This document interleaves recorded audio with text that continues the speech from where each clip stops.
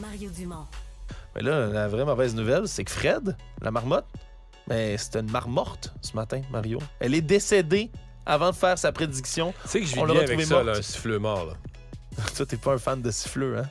Quand tu as grandi sur une ferme, les siffleux, on- je commenterai pas. Mais, mais j'ai vu quelqu'un sur les réseaux sociaux quand même qui a eu un, commentaire, j'avoue. euh, je me dis, OK, il y a des gens encore pires que moi dans leur pensée, plus cyniques, qui disent, ouais, mais il est où le problème? Parce que dans le fond, la marmotte, c'est juste de voir son ombre. On aurait pu prendre le cadavre. Oh! ben écoute, Mario, On aurait pu pas prendre le cadavre, le tenir vertical, puis voir l'ombre ou Ben, pas, là, puis décider de l'hiver. c'est les là, enfants qui ont pris la relève. Moi, même moi, j'aurais pas pensé à une telle chose. là. Bon, ben Mario, tout à ton honneur. C'est les enfants qui ont pris le relais là, pour tuer le cynisme, hein, qui ont pris une, Moi, une peluche de marmotte. Là, je vais te dire une affaire. Si mon père, ma mère, le maire de mon village, n'importe quel intervenant, j'ai vu, m'avait mis dans remplacement d'une marmotte, aujourd'hui, là, mettons, 50 ans plus tard, 45 ans plus tard, je serais pas remis, là.